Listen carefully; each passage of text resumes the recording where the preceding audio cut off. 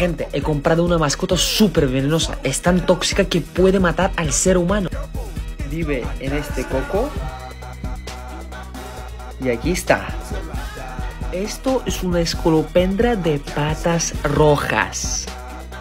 Esta es la mascota más rara que tengo y casi nadie la tiene.